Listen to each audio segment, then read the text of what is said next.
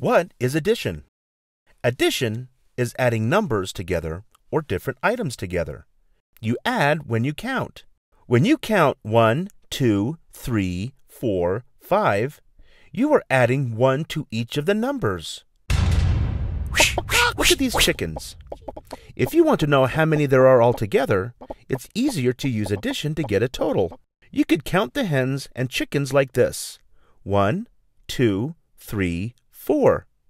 But it's easier and faster to add the 3 plus the 1 to get a total of 4.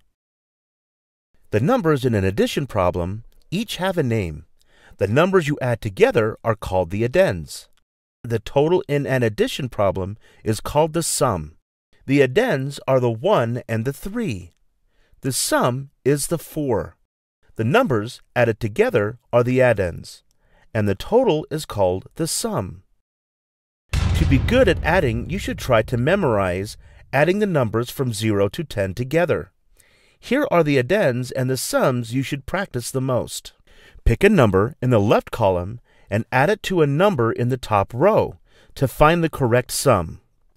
So if you take the 1 on the side and the 3 on the top and they meet in the middle, the sum is 4. So if you take the addend 1 and the addend 3 and you add them together, the sum is 4.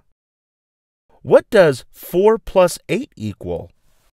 If you said 12, you're right. Good job. Practice your addition facts, and adding will be easy for you.